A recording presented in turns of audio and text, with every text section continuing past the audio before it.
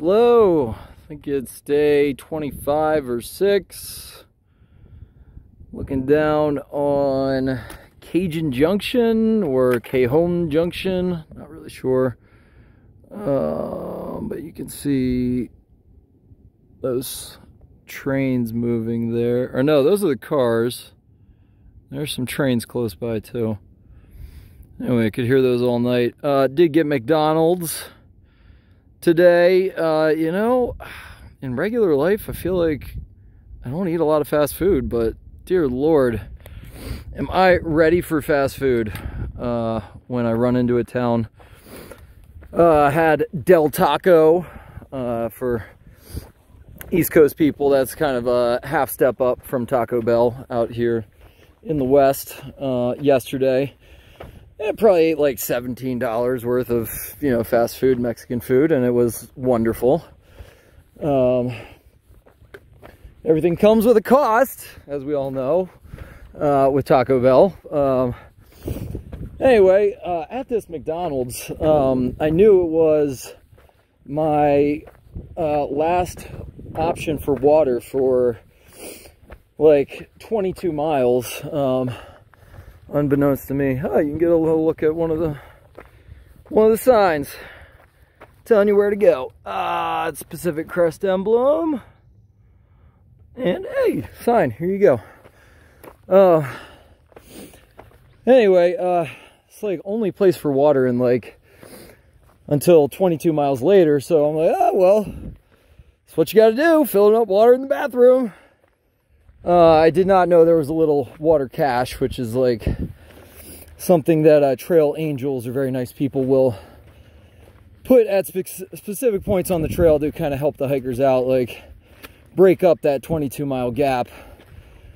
I didn't know there was one of those, so I'm like, I got six liters of water.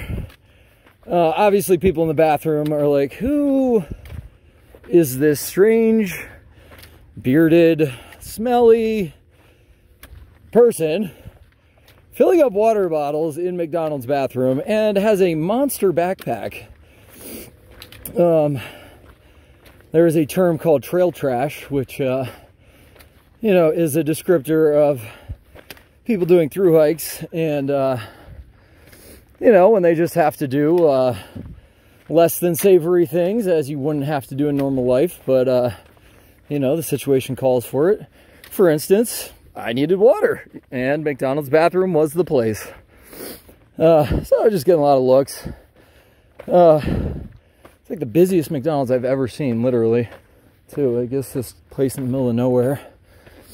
Holiday weekend and lunchtime, and it's like a line of 10 women waiting for the women's bathroom, watching me load and all my backpack up with all my water and in my water bladder. So, yeah, well, this is happening.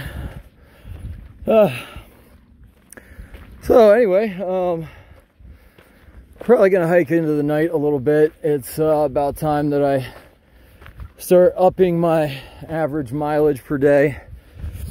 Uh, I did the math and I'll have finished about 400 miles in May and that's 15 miles a day or thereabouts since I started on May 4th, which isn't terrible, but uh, I need to be around 20 to 22 miles per day going forward. So uh, 20 is my new my new requirement for the day, and uh, let's see, since I didn't start until probably 10:30 today, that means I might have to hike till like nine, maybe a little after today, and you know that'll be in the dark and is what it is. It's just uh, kind of who I am, a late sleeper. Some of these people can get up at 4 a.m. and get going before the sun rises. I have not been able to do that. So here I am. Yeah. Oh, yeah. You can see the smog over there in LA. That's where I did my zero, my uh, second non-hiking day with Jenny right before she left. Um, yesterday we stayed in San Bernardino um, and suburb of LA. And the smog in LA is super gross. It's like nothing I've ever seen. And you can see it right there. Like, this is what the normal air looks like. Oh, hello, LA. Super gross. Everything in that valley. Talk about emphysema. Uh, all right. See you later.